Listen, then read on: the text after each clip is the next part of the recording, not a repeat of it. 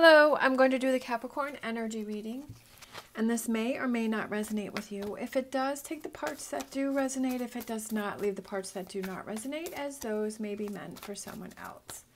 All right, so we're going to use our animal animal oracle cards to see what are you struggling with. So we have the miracles are endless, definitely.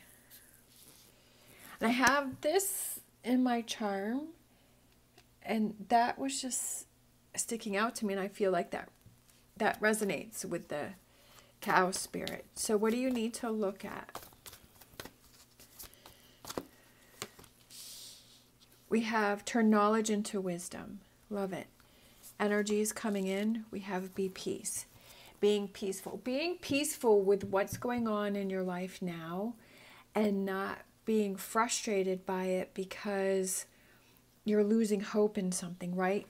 Not that I'm saying to give up on your goals or your dreams, but I almost feel like sometimes like we're wait when we're waiting for things to come in, we get in such a frustrated energy that we're not even enjoying what's going on now. So turning knowledge into wisdom is realizing that if you've noticed that in the past that when you just let things go and you focus on the now and you stop being frustrated about things that are not happening for you and you try and make the best out of the moment now or you try and work on those things that if you want goals to happen you start researching you start looking um, you start learning about things if that's what helps. But if you know that, okay, if I get out of this frustrated energy and I just focus on the now, that I can have that peace, that I can let go of that frustration, and knowing that when the time is right, that things are going to fall into place. And kind of learning from your past, like with the energies that you've had and those patterns that you've had in the past where if you just kind of let things go, if there's nothing more that you can do, but if it's something that you're not believing that things are going to happen for you, but is it are you putting the effort into it, right? To learn about the situation, to put yourself in the energy or the atmosphere of things will happen for you, right? Um, to to surround yourself, to put yourself in that energy instead of like sitting on the couch and just as an example, say that you you want something to happen, but you just sit on the on the couch and you don't do anything to make it happen, to research it, to learn about it, to surround yourself with those people or those situations that it's already happening for and to learn from it and see what are those activities, the what are those things, those actions that you can do to push yourself in that direction, right? And is that something that you have to learn from and really take a hard look at yourself and saying, okay, am I making the most of it? Am I learning what I can learn? Have I done everything that I can do? Okay, if I've done everything that I can do, then I just have to let it go. And when the time is right, things will fall in place. That maybe that situation or that person is not ready to happen for me now so I so that on the other end is things are being worked out that it doesn't necessarily have to be on your end. All right, so let's get some Lenormand. What else with this cow spirit? All right, so the sun came out upside down, but I'll take that. I wasn't going to, but I was like, yeah, like if you're struggling with that, the sun is upside down, that you're not feeling hopeful, that you're not feeling like things are happening for you. And I don't know, are they all upside down? They're all upside down. All right, so we'll just leave that. Um, then we have the snake, but that's reversed, right? Flipping that, turning that around, right? Seeing that, I, I almost see like, what do you need to look at is that, okay, are you, are you, your, are you kind of are you sabotaging things for yourself? Are you putting yourself in this frustrated energy? Are you making your, you know, are you making yourself angry? Are you making the effort to research things and to make things happen? What effort are you putting in there? It's just questions to ask yourself and to really see what energy or effort you're putting in there or you're not putting in there. Um, and taking responsibility for what it is that you're doing or you're not doing. Yes, sometimes things just happen for us or things just don't happen to us and we have no control over that. But when we see what's happening or not happening, what do we do from there? What do you do from there? Do you take control of the situation? Do you see, okay, what am I doing to contribute to the negative or the positive of the situation and then make those adjustments? Or do you just kind of accept it and let it be? It's just taking a hard look at the, the self involvement in a situation. All right. And then the magnifying glass with the with the peace is how do you make that happen? Finding that peace within each day, within each moment, within each challenge. All right, I don't know why the cards are. Okay, what I did is I fixed my tablecloth, so I think I put all the cards in upside down. So I'm just realizing that now. so I'm just turning every because I took everything off and then I adjusted the tablecloth. So that's probably why everything is upside down. But I'll just take it because it came out that way. I almost feel like all of these colors are the same here the orange and yellow and red. And with the cap, cap Capricorn card being upside down is that you're not feeling like yourself, right? That you're not into your own power or your own energy, that you're feeling weak, that you're letting the toxic energy, you're letting the negativity surround you. All right. Yeah. Let's see. Let me put that there and let me put this here. Sorry, I'm a little thrown off with the cards being upside down, but we're okay. Nine of Swords and the Fool. Look at that. I love that. Going into this, what do you need to look at energy? How do you flip things around? Um, then we have the Five of Wands. Sometimes you have to fight for situations. You have to fight for your happiness. You have to fight for, okay, how do I take control of this situation? How do I move past from this? We have the Ace of Pentacles. We have the Empress. We have the Knight of Pentacles. Let's see, three, three, and then three. Three of Cups and Two of Cups. I love it. Very exciting. So over here, like I said, I feel like we have kind of all of this energy and even with the Nine of Swords here, but then we have a little blue that's coming in and then the blue transfers over to the Fool. And then it's almost like everything switches over to green and then a little bit of blue. So it's almost like that feeling of change and switching and evolving and that movement, right, within our lives, within our days, with months, years, that seem to happen. So I feel like if you're struggling with this, you're not feeling like yourself, if you're having a lot of anxiety, if you're having a lot of stress, for some reason I'm thinking headaches. Are you having headaches? Um, and it's almost like you're overthinking and you're overprocessing and you're like, it's almost like you're trying to will something with your mind and like I want it to happen, I want it to happen. But I feel like it's it's good to be in that mind space of I want to leave this energy, but I want to focus on this energy. I want things to come in. I want to be peaceful. But sometimes we can overthink it and we and it becomes too much and we become stuck in that energy. And it's like, okay, I just have to take a break from this, right? Because if your mind is always thinking and you're always in this Nine of Swords energy, it, be, it becomes exhausting. And I feel like that turns into the fool, which is just being silly and being funny and um, being lighthearted about things. I feel that with Capricorn can be very serious. I'm a Capricorn sun and a Capricorn rising. I feel like I take things too seriously. I do have a funny side and I can be silly, but I feel like because Capricorn is an earth sign that they're more grounded. They take things more seriously.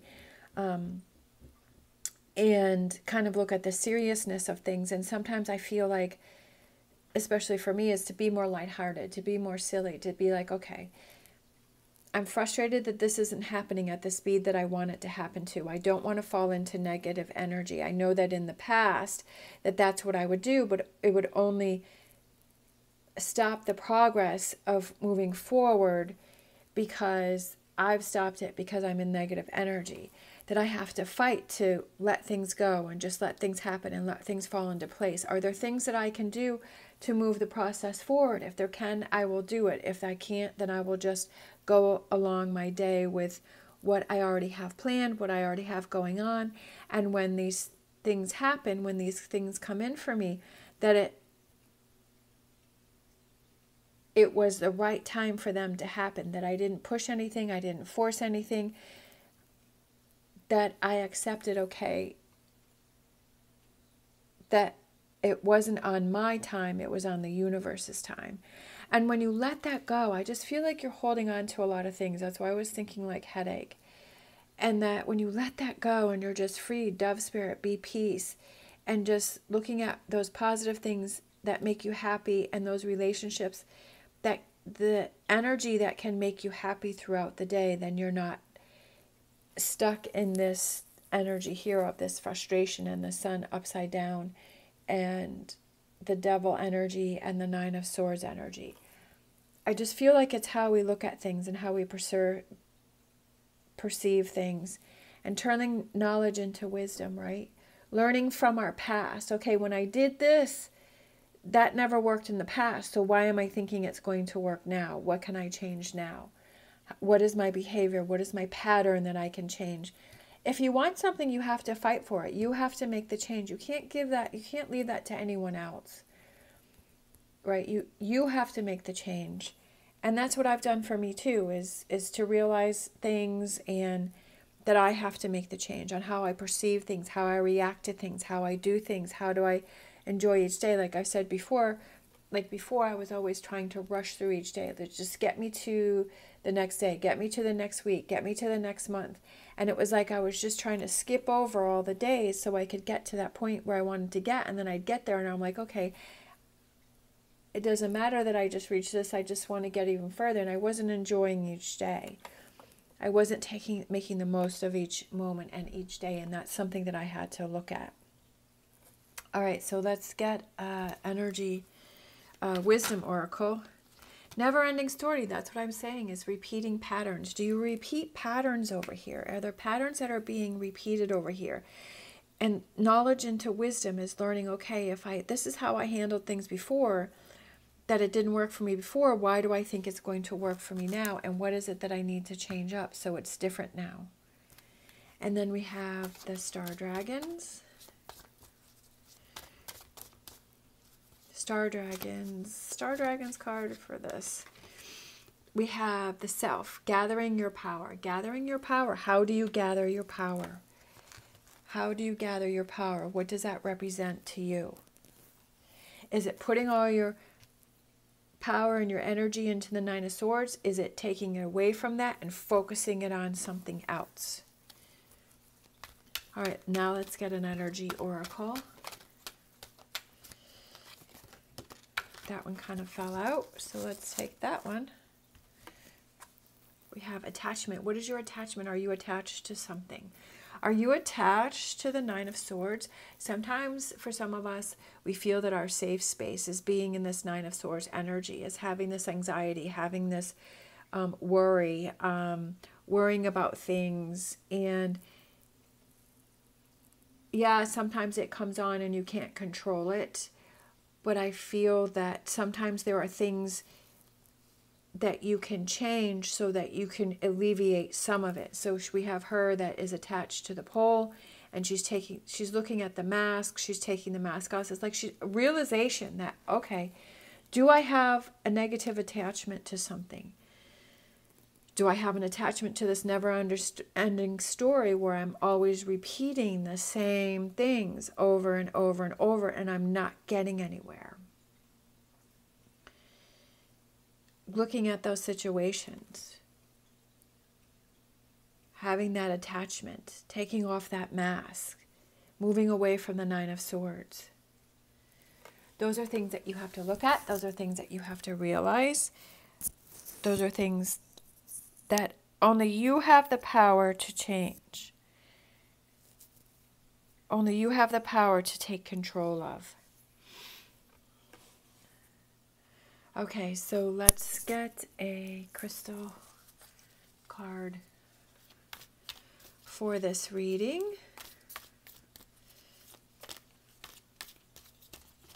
Crystal card energy for this reading for Capricorn. Crystal card.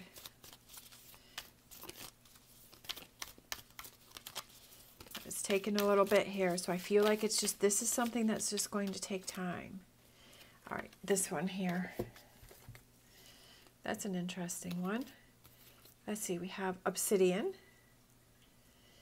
Shadows mirror amorphous.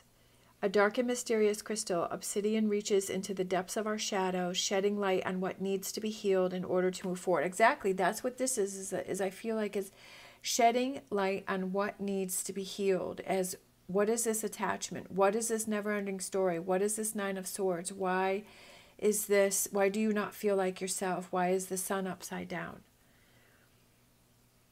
Obsidian serves as a mirror, revealing our deepest truths. Obsidian crystalline structure is amorphous, moving beyond conventional time to dip into the past, present, and future, and wielding great power to clear any obstacles. Obstacles which I feel is attachment and this mask. Use obsidian as a shield against psychic attacks and to ground your base chakra to planet Earth. So it's those things that try to come in, that try to throw you off, that try to disorient you and try to put you into this energy over here and seeing, okay, are there triggers around me? Are there things that are around me that are making me feel a certain way or that are making me feel heavy or making me feel sad or making me feel like this attachment to something that is not healthy to me? What is that? And how do I work on that to move away from that? How do I change the story? Right? That's something that you have to look at. Okay, so let's grab a few more. Look at that. I love it. It's butterfly. The butterfly and we have the dove again. I love it. That goes with that. And then we have protected. All right. Thank you so much for watching. As always, stay positive, stay safe, and I will see you next time.